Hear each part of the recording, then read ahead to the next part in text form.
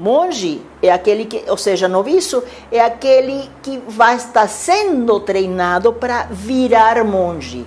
Que aqui usam esse termo, está errado. Raspam a cabeça, já se consideram monges e professores. Você raspa na cabeça no Japão, onde te colocam, olha, no último lugar. Lucas, entra aqui, que é isso?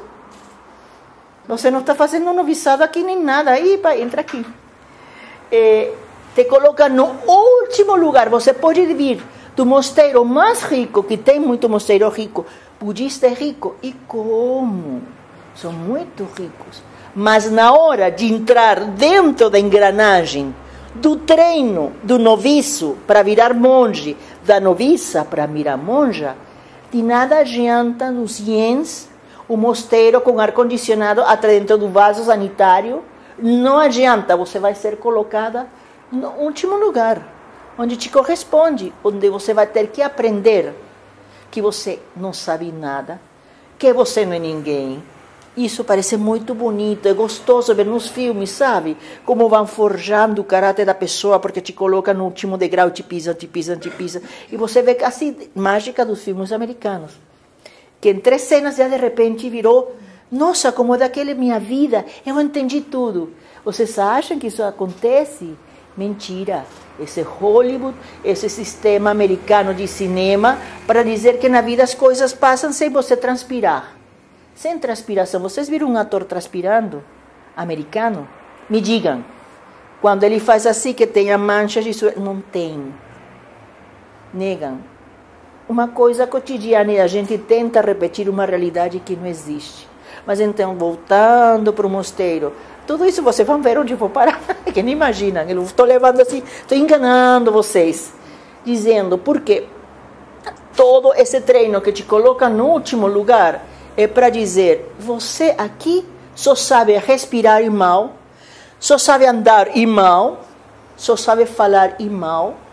E vocês vão dizer, monja, mas eles não falavam em japonês. Sim, mas eles falavam o japonês cotidiano. Dentro do mosteiro tem outro japonês, muito polido expressões que só se usa dentro dos mosteiros. Elas tinham que também aprender essa arte de se comunicar dentro de umas hierarquias que lá fora existiam, mas aqui eram diferentes. Professores, roshis, tudo isso.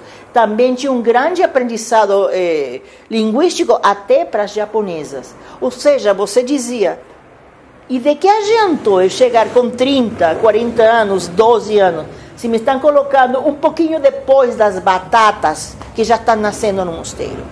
E eu digo, tinha um gato lá. Se esse gato tivesse falado lá, ele me teria dado ordens. Porque eu era considerado menos que o gato do mosteiro, porque ele era mais antigo. Né? Então, ele é meu senpai, ele vai mandar em mim. As coisas eram assim. Budismo, monjas, mulheres. No final, dois pontos, interrogação. Isso é budismo? É vida, gente simplesmente vida. Quando existem aqui, ó, esta comunidade, a gente se organizou do jeito que dá com nossas condições. Quem quiser sentou em cadeira, aqui, esse inteligentemente ficou mais perto da janela, né? Porque ele é membro da comunidade, não é bobo. Ele já deve ter desmaiado lá de calor. Viu que faz isso? Como chama? Sabedoria. Porque você morre num canto e você de repente diz: ninguém aqui. Você primeiro é modesto, né? Ah, ninguém vai. Eu vou, porque não sou bobo. Eu aprendi com meu corpo transpirado aqui que esta sala é quente e que aqui tem um mínimo, um pouquinho de ar. E essa sabedoria a gente tem que usar a favor nosso e de todos os seres. O que significa ser todos os seres? Aqui o Genjine, ele não vai se pendurar da parede assim da, para que ele só receba esse ar. Não, eu recebo uma parte e o resto vai para os outros. Parece uma bobagem, parece uma, uma piada, mas a gente não faz isso. Eu quero um benefício só para mim. Eu quero esse ar só para mim. E não dá como deter esse ar. E a gente vive brigando com coisas nas, com as quais não dá. Vai brigar com a brisa, vai brigar. E nós fazemos isso na nossa vida. Entendemos que o budismo são palavras mágicas, conjuras, sabe? Coisas assim, aprender frases dificílimas, cuspi-las, para ficar assim e, e, o ar vai vir condicionado, sabe? 19 graus, como eu gosto, direitinho para mim. E que desilusão. Não tem nem a grana para comprar o ar, a mágica, a, mágica, a mágica não acontece. E pior, o dia ficou de um calor danado que a minha foi, foi para o ralo. O budismo, o que eu digo aqui, o que é simplesmente ter uma imensa consciência. Primeiro de quê? De nós. Quando eu digo nós, vocês têm que fazer assim. É uma religião egoísta? Quem disse? Vocês acham que se apontar para cá é porque vou fazer assim com o mundo? Ou é simplesmente nesse abraço, assim, quando eu consigo fazer assim, é porque já passei por todos os abraços que eu podia dar? Não será? E que esse abraçar assim está incluindo o mundo inteiro, universos inteiro. Cada vez que você abraça uma pessoa, uma causa, um, um desgosto, um sentimento, você está abraçando universos que estão atrás disso. E isso é budismo. Consciência absoluta e total, primeiro, de quem é você nesse momento, sabendo que, como nada se repite, nada se repete, você vai abraçar, mas não vai se grudar. Porque se você fique, quiser ficar abraçando, o que? O ar é uma coisa que vai se transformar. Então vamos viver abraçando mortos, ideias ultrapassadas. Ninguém de nós vai no supermercado e vai procurar aquela salsicha que está vencida, né? Vamos lá, data de validade que seja bem velha. Porque essa que eu vou comprar. Você faz isso, não, né? O iogurte a gente vê, né? Vence amanhã. Uh -uh. Porque se eu esquecer de comer, não é? De, amanhã, depois daqui a dois dias, eu tenho medo de morrer envenenado. Sempre digo, será? Tem pessoas que são corajosas. Ah, não, só estão três dias que venceu. E digo, vão comer. Eu sou muito medosa com isso. E comem e sobrevivem a meu... Bom, enfim.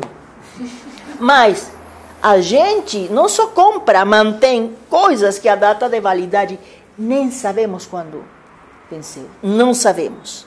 Estamos aí segurando essas coisas. O que é budismo é isso, ver, gente, este sentimento, opa, aquela coisa que me fez, mil, 2003, eu ainda ando com essa raivinha aqui, essa, ai, essa desgraça, ai, e fecho de novo. Ou se a gente não, não pega uma salsicha que vai vencer daqui a dois dias, como temos? Essa briguinha, essa lembrança, aquela gostosura, né? Aquele sorvetinho que já passou quanto é que 2001. E à medida que a gente vai ficando velho, pior ainda, porque esses novinhos aqui podem dar gargalhadinha, né? Mas se eu fizer assim, digo, 1970. Ai, que vergonha, 1979. E eu ainda, imaginem, são mortos pré-históricos. De quando o mundo quase não existia, o mundo estava sendo fabricado para os jovens, quando o mundo era fabricado, não tinha internet. Vocês imaginam um mundo sem internet? Sabe o que a gente fazia? Quando queria cair na gandaia com os amigos, se encontrar, era rezar para eles chegarem, porque uma vez que a gente saía de casa, não tinha possibilidade nenhuma de contatar com aquele ser humano. Estávamos ao Deus dará. Você conseguiu um orelhão, ia ligar para onde? Para a casa do seu amigo e dedurá-lo, porque ele, tá, ele ia falar que é que nem você, que você estava estudando, não era? Você liga, olha, estou aqui no bar e não chegou Henrique. Você não fazia isso, rezando. Éramos uma geração de muita fé. Agora, com essa coisa assim, rapidinho, né? Você está na esquina, e, e, no, no ônibus, e, e, a gente... Mas a gente se encontrava. Não tinha internet, não tinha celular, quem mais não tinha? Eu vi nascer os primeiros caixas automáticos do mundo, que tinha pavor de chegar perto. Via essa assim, será que morde? Ou seja, ninguém tinha usado isso na vida. Me deram um cartão. E eu assim, não conseguia como usar. E foi uma experiência que você diz, nossa, monja boba, eu quero ver vocês daqui a 50 anos, quando seus netos, bisnetos, uma coisa assim tenham, aqui vamos, não sei, uma experiência sideral, fazem assim com o dedinho aqui, entrem em uma protodimensão, e vocês assim, nossa, mas eu tinha celular e achar, não é? As coisas, universos que vão se transformando. E o que tem de comum nesses todos esses universos? Ao longo de tudo isso? Seres humanos. A qualidade do ser humano que estava sem celular, Mas vocês acham que meu sofrimento, nosso sofrimento, o sofrimento de qualquer ser daquela época, era melhor ou pior de qualquer um que tem agora celular?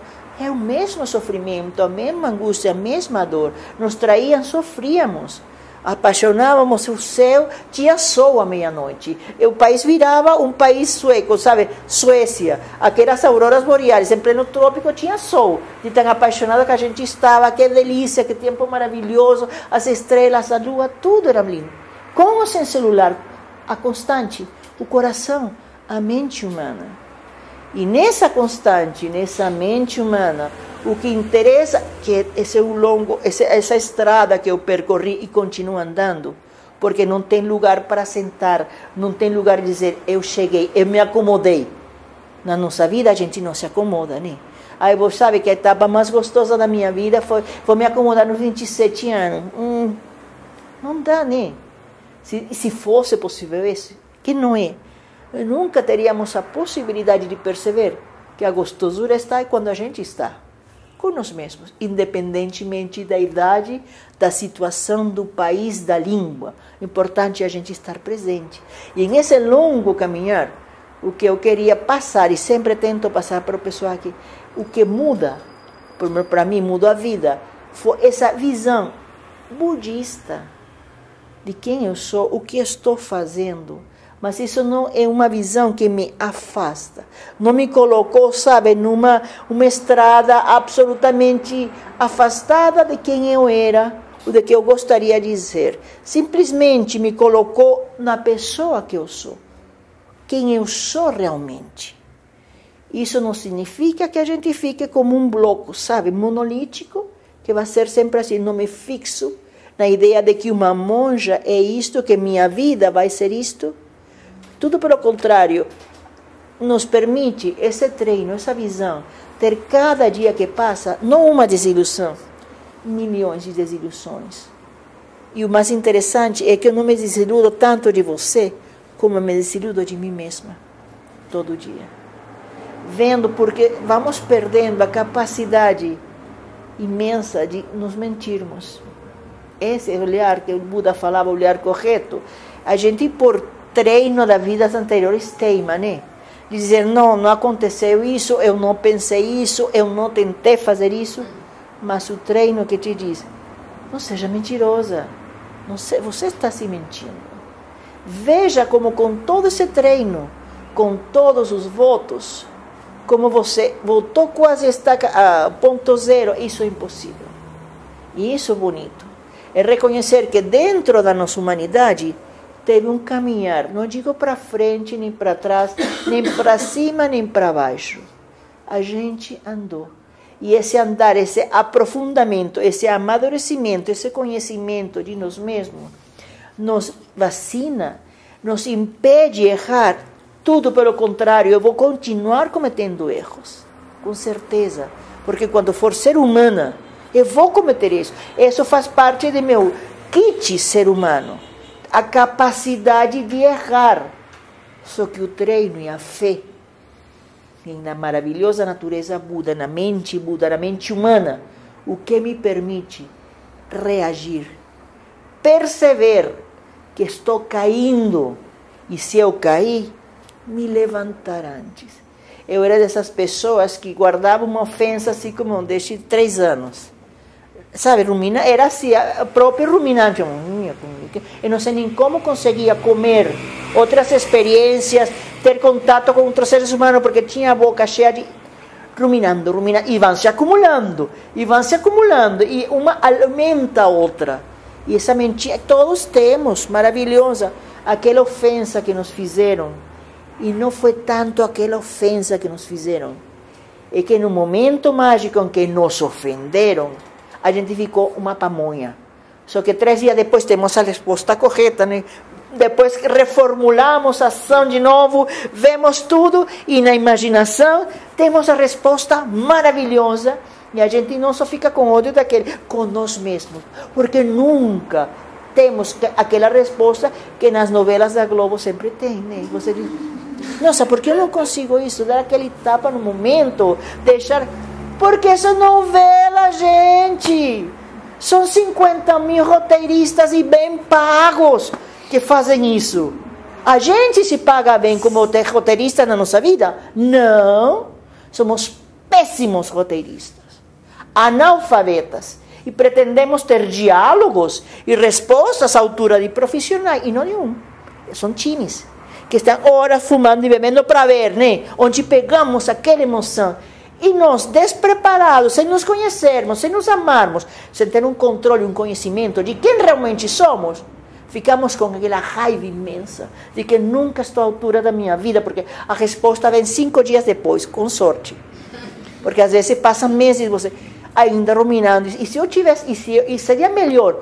E vamos mantendo dentro da nossa mente, dentro da nossa vida, nos pouco, no pouco tempo que a gente tem de vida, cheio de cadáveres, de, de situações tristes, ruins. Olha, por isso era até ótima, mas já passaram. E esse está ruminando, tenta dar, ruminar e colocar uma comida dentro. Não dá. Bom, eu não consigo. Olha que eu gosto de comer. E não dá. Tenta comer, engolir e continuar ruminando. Não dá. E a gente passa na vida assim. Tantas coisas maravilhosas que não vem. E estou com aquela erva seca, aquela palha de 1983 ainda na boca. E coisas lindas, frescas, incitantes. Boas ou não? Mas eu não consigo nem, dizer se são boas ou não, porque tenho a boca cheia, ainda esperando ter. A... Porque não passa. Em vez de dizer, gente, chega, né? Acabou. Dar uma boa escovada e continuar para frente. Então, essa capacidade de perseverar boca cheia, o ruminar, esse que sempre parece que chega depois na minha vida, por quê? Porque eu não estou no momento me insultam, eu já estou pensando, está me falando isso, ai, três meses, não vou ligar para essa.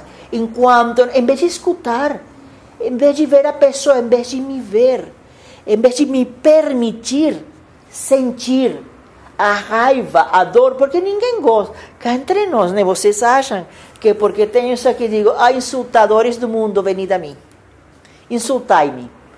Não façam isso, porque vai, levar um susto. Não é isso, mas se chegou o momento, a gente percebe o que está acontecendo comigo. A raiva, e a gente vê que tem raiva, sim. Que tem vontade de estrangular, tenho, sim. Eu vou fazer. Não. Por quê? Porque eu percebi que já vinha aquela coisinha ficar aqui para ficar resmungando. Eu digo, espera aí, fica aqui. Isso chama de raiva. Budismo é percepção. E não negar. Eu não vou negar nunca. Santos monges não têm raiva. Imagine. Vocês não me viram pulando no lugar onde pendurávamos a roupa quando via que minha roupa estava três fileiras para trás. Pulando literalmente de raiva. Quando eu averiguar e souber quem é isso que fez, pulando de raiva. Era um jeito de extravasar, que eu achava que era muito importante no momento. Eu vivi intensamente para saber que isso dá um quê? É nada. E agora eu me lembro disso e digo, nossa, mas que bobinha. Ou seja, mas por cada coisa. Eu colocava, a gente tinha caixinhas. Todo mundo tinha que ter a caixinha com seu sabão de lavar a roupa à mão, né? Líquido, porque não pode ser em pó, porque se você não sabe, não sai nunca mais. Eu estaria ainda tirando o sabão em pó. Quatro anos depois amaciante, tinha um, ai, umas pedras de sabão branco japonês, que a roupa mais encardida, você fazia assim, parecia de propaganda, publicidade, sempre fazia, ah! não, não, é incrível, incrível, você tinha tudo isso e meu lugar era esse, determinado pelo mosteiro, não é que eu me achava que esse lugar era meu, não, você está em tal lugar no departamento tal, esse é seu lugar, a gente tinha que decorar. Ah, deixa eu ver, tem um prego aqui. Não de, não de verdade, não dá risada, não, é assim mesmo. Tinha uma, uma rachadurinha aqui. Eu procurava alguma sobre uma coisa física no lugar para eu colocar do jeito que dava. E depois de todo esse esforço, sempre tinha uma engraçadinha amada que me colocava um pouquinho mais para lá, um pouquinho mais para trás. Dizendo, mas amor, já não tem importância. Tem muita. E muita, porque isso significava que eu invadia o lugar de outra pessoa, não é? E a outra pessoa, como eu era estrangeira, nunca ia pensar que era outra japonesa que tinha empurrado um negocinho, que era eu. E vinha um dragão japonês cuspindo fogo japonês e você com um guarda-chuva brasileiro, assim tentando não se queimar. Se queimava igualzinha da raiva da fora e da raiva de dentro. E eram duas raivas maravilhosas, em línguas diferentes, e no final o que aconteceu? Pura fumaça. Todo mundo saía, sabe? Mal queimado, assim, com feridinhas aqui, o orgulho no chão, sobretudo da gente no chão, e não solucionava nada. No momento, era para passar por isso. Não tinha como não passar. O único jeito de você dar risada e entender que tem coisas mais importantes na vida quando você se entregou até nas besteiras nas menores você ninguém vai me contar. O que se sente quando você está aqui te empurram para lá. Não contem, eu vivi.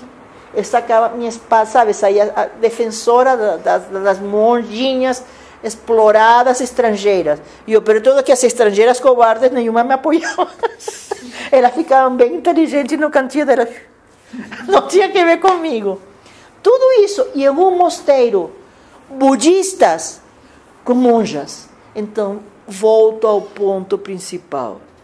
De que budismo estamos falando? Dessa, desse mito, desse sonho que todos queremos. Aquela vacina para que minha vida não doa. Eu não quero sofrer, monja. Ixi, me lembro, meu pai uma vez disse: Eu não quero ter problemas na minha vida. Estava em um ataque desse. E eu falei: Se dá um tiro, porque sou morto, não tem problema.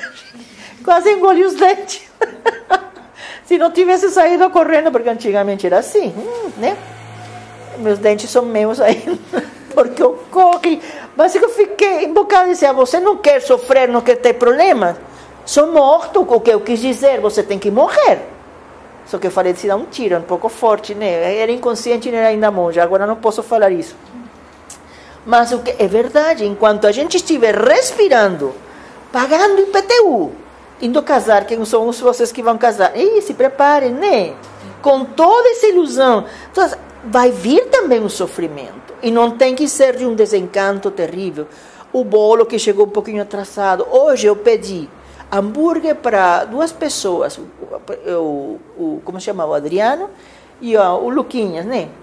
Porque ele vem do trabalho, que aquela. Vamos, lembrei, tive. E especifiquei, falei o que eu queria várias vezes. E o Senhor, isso nós fazemos também. Aham, aham, aham, deve estar ruminando alguma outra coisa aqui, aqui. Tudo bem, aham, quanto é tanto? Aham, aham, aham. Chegou, aham, aham, aham. Porque não chegou o que eu pedi. E cobrou, aham, aham, aham. Uma coisa muito por cima. Monja, mas a senhora é, é monja coloque outro, outro moedeiro para pagar. Não, não colocou outro moedeiro, não. Eu não pedi isso. E eu me revolto. E o que eu tento educar as pessoas. O Senhor simplesmente não escutou. Enquanto eu estou dizendo isso para o Senhor, estou falando comigo. Porque o que esse Senhor fez, que foi não escutar, aham, aham, estou te escutando enquanto estou vendo se o motoqueiro está chegando, se isso, quando, daqui a quanto eu vou sair, aham, aham, aham estou anotando um, o que é um aham, entre o aham, aham, o que entrou do que a pessoa pediu. Mas o que me chama sempre a atenção é que esse aham nos traz nunca um preço mais baixo. Sempre por cima. Essa é outra das curiosidades que nenhum preceito budista ainda me, me, me, me deu a resposta, né? Tivesse sido aham, aham, e traz, nossa, eu, não, não ficou na minha também, eu reclamo, né? Mas quando a gente vê que uma coisa que nós queríamos, relacionamentos, amizade, casamento, e você não entendeu, se perderam, o que vai fazer? Eu acolho todas as tolices do mundo, filhos meus. Nada, eu liguei. Oh, tá, tá, tá, tá, tá, tá. Ensinar as pessoas. Enquanto eu ensino, eu estou me educando também. Por quê? Eu não estou isenta no dia a dia? Quantas vezes eu não me pego no aham, aham, aham? Não é isso. E então, nesse momento, a gente acolhe no aham do outro. O meu, coitadinha, de mim. Que eu também faço isso. eu fiz um casamento, eu também faço casamento, sabia? Então, eu sempre falo isso para os noivos. É bonito essa paixão, é uma coisa linda. Mas mais linda ainda quando ela está cimentada, baseada em que? Na realidade, em quem realmente somos.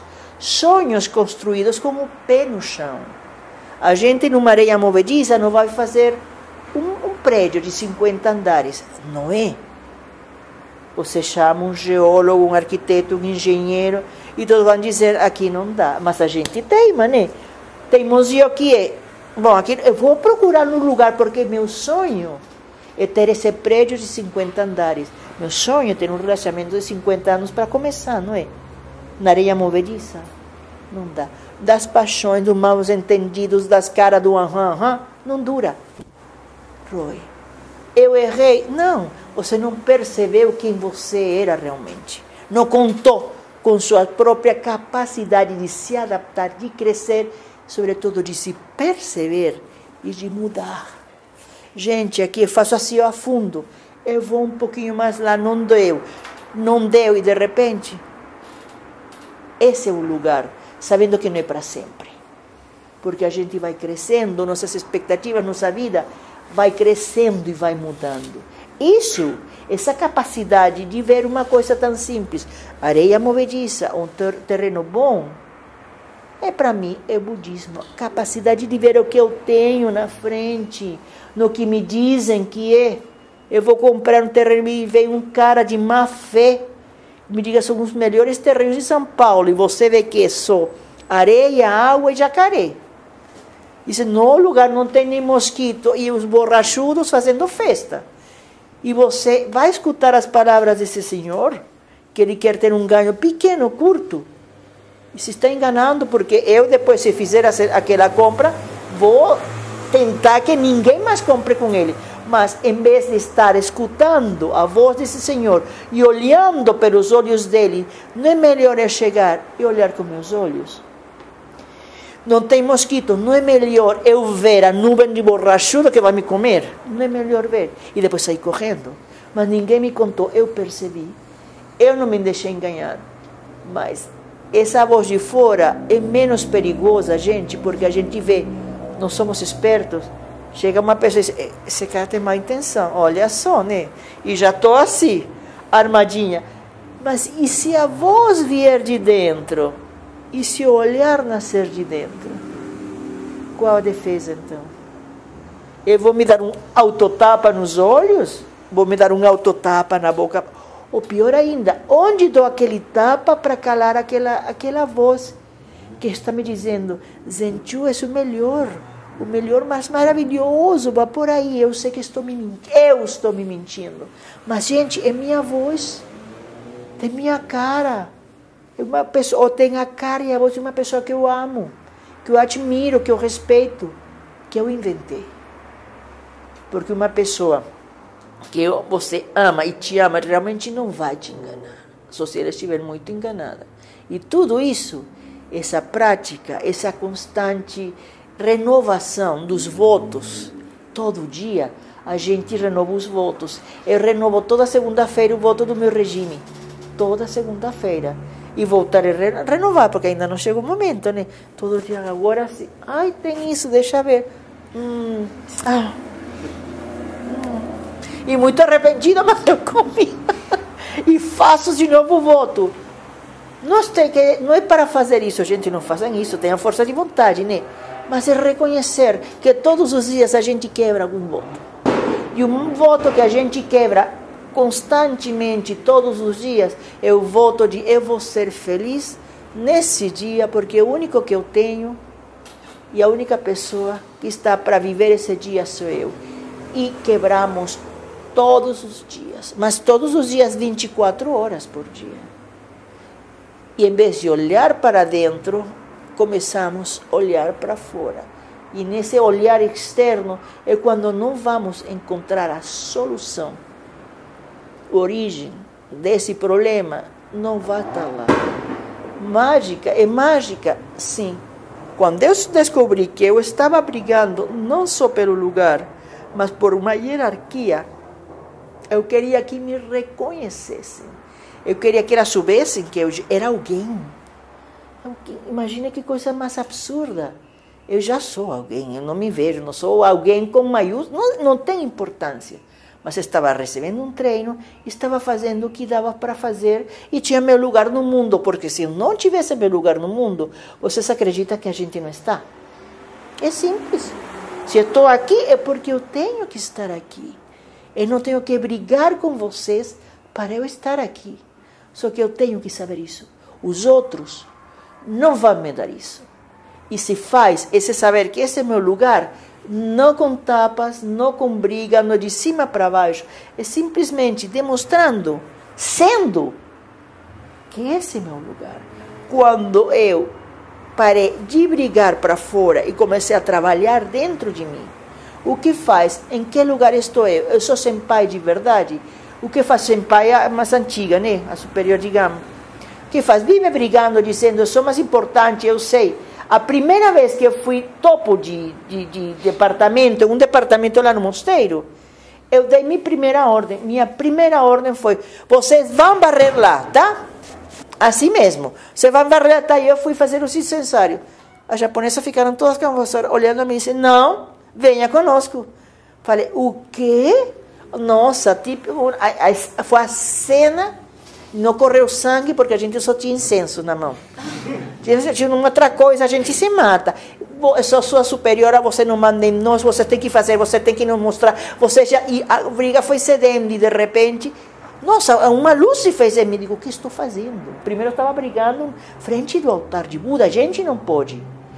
Treino, me coloquei, tarde, mas me coloquei. Em que lugar estou e quem sou eu? E dizer, bom, então, para ter paz, a única coisa que eu tenho que fazer é pegar a vassoura e eu varrer. Olha, eu faço isso. Eu queria. E aí começou a mudar. Quando eu vi que eu peguei a vassoura e a discussão ficou atrás e vieram todas atrás com as vassouras, digo, e era isso só. E eu estava cuspindo ordem, sabe? Em amianto sagrado, jorrando. Pra... Era simplesmente olhar no olho, vamos. Era só isso não empurrar, vai.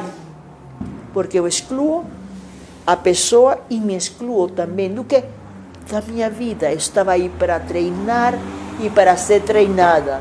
E se vocês acham que isso acontece só no mosteiro, lembrem, nós treinamos e somos treinados por cada pessoa que aparece na nossa vida. Eu ia falar hoje, era sobre eh, até tinha um título, já se fala, a, até a cortina, como se telão cair? Sabe, o telão final, pá, teve aquele acontecimento, você foi aquela peça de teatro, gostou não, e por muito que a gente gostar, vai chegar um momento em que esse telão, você disse assim, não, no cinema, cortina, não é? Do teatro, é cortina, em espanhol é telão. Bom, a cortina, pá, a gente pode bater palma, eles vão sair uma vez, duas vezes, três vezes, quatro, e não vai sair mais. A vida tem que continuar também, né? O estacionamento vai fechar. Eu posso estar muito empolgada, foi a melhor obra da minha vida. E eu que estava pensando era aplicar isso era com nossas vidas. Que, que, que, que obra de teatro estamos fazendo nós? No teatro tem traições, se resolve com a espada, com isto, com diálogos, com mortes a gente bate palma e não tem nada a ver comigo. Eu volto, sabe, correndo para o meu carro, mas é quando é com a minha vida. Vocês pensaram que essa cortina vai cair para todos nós? Vai ter alguém para bater palmas para nós? Ou pior, a gente vai bater palmas para nós mesmos dizendo: Bravo, Senchu, valeu a pena. Agora vá em paz. Você viveu sua vida como era sua grande tragédia, suas grandes alegrias. Você não, não se poupou em nenhuma cena.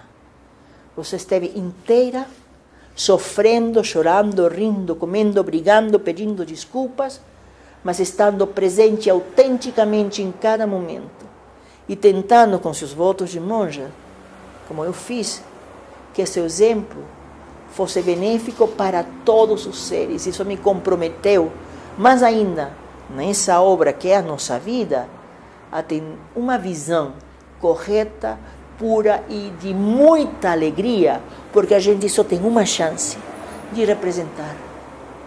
As obras de teatro, elas voltam, aproximam e sai a atriz e diz: E hoje, às nove e meia, temos a segunda representação, né?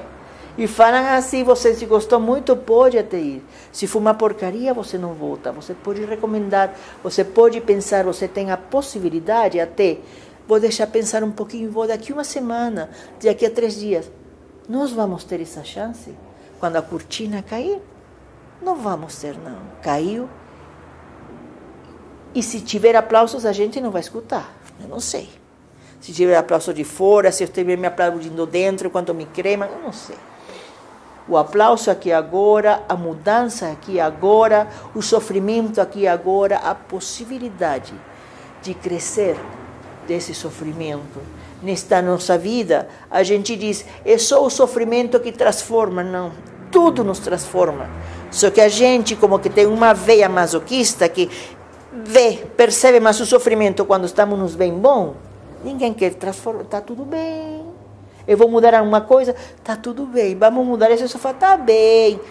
E o sofá quebrou a pata quando você fosse deitar, vamos ver se. E você teve aquele, se, se feriu. Você não vai querer mudar esse sofá? Acabou, está bem, né?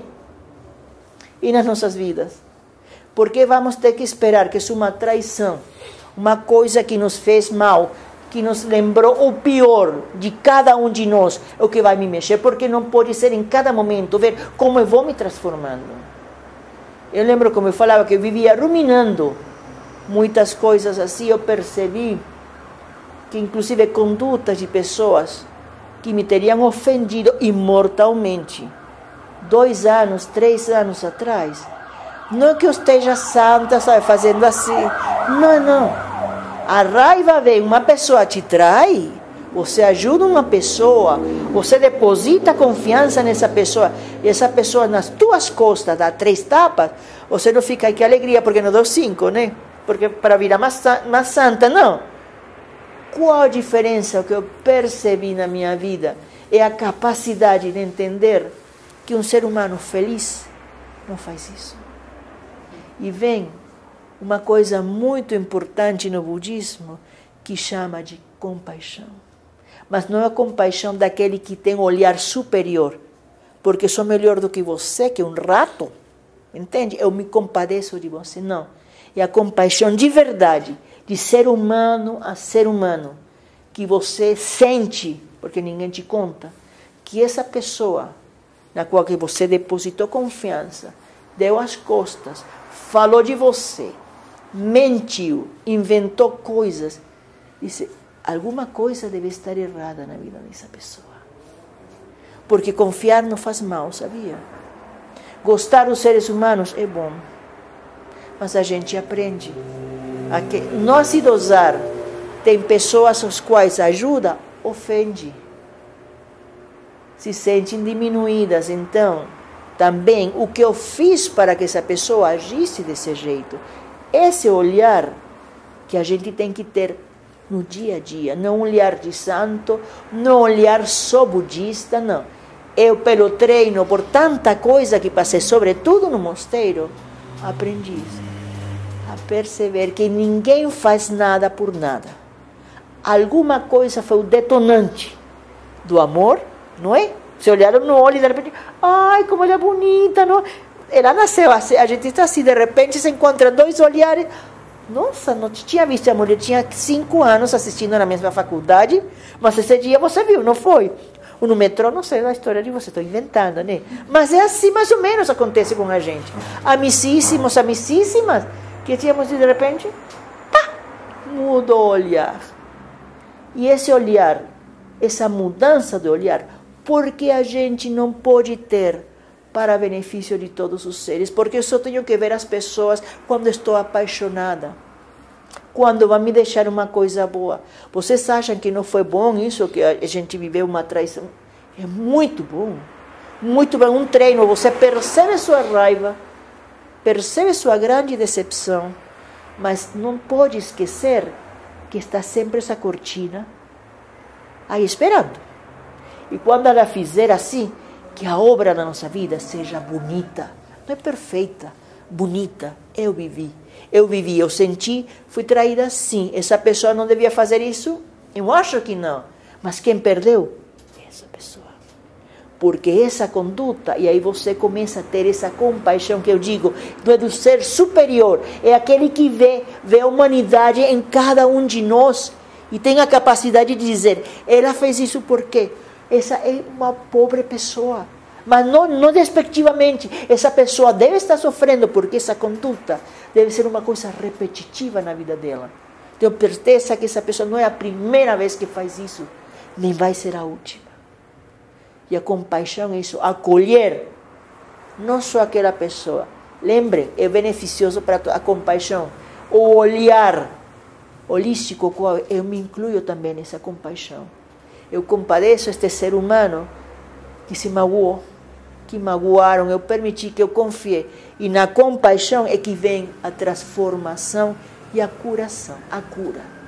Não é para parar de confiar, não é para dizer que ser humano não presta, a gente vai ter mais sabedoria e ver que não é que essa pessoa que você excluiu, essa pessoa da sua vida, essas pessoas se excluem da vida dos outros seres humanos, se traindo. E não que deixe paz, não é isso, não é que a gente, ai que bom que ela, que não essa pessoa, não, não, não. Entender que todos os seres humanos estão em um momento da vida. E a gente respeitando aquele ser humano mas eu também me respeito. Estou nesse momento que diz: eu vi, eu percebi. Fala em traição como pode ser qualquer sentimento, amorosidade, desemprego, o que for. Momento que estamos vivendo, ver o que realmente tem atrás de uma palavra, de uma, de uma ação, e entender que a maioria das pessoas, quando somos, estamos muito felizes, você vê um ser apaixonado por aí matando não digo de tiros, quando a gente está apaixonado, não tem só palavras de amorosidade para todo mundo. Estamos felizes, não é? Eu sempre boto aquele exemplo da chuva. Se apaixonem e cai aquele toro, chuva que limpa o céu de São Paulo.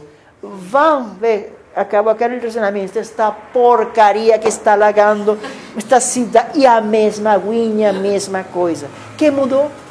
Eu minha visão, minha tristeza me fechou ante um fenômeno que não é bom nem ruim, é água.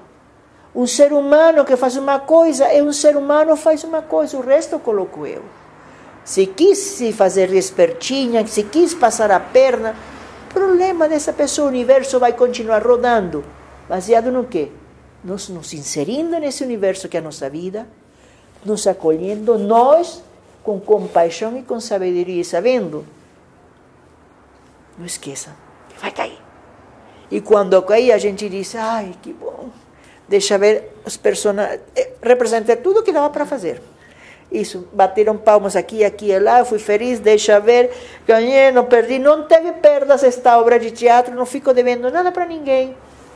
Tchau, público amado, tchau, mundo maravilhoso.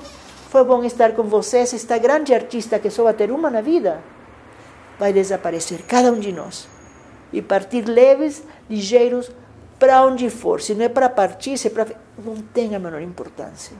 Que tenhamos absoluta consciência e felicidade que quando vermos isso assim, se for o fechar de nossos olhos, que seja em paz. Que não esqueci fala nenhuma, que não deixe um companheiro ruim porque eu esqueci a falo porque falei demais. E nunca entrei antes nem entrei depois.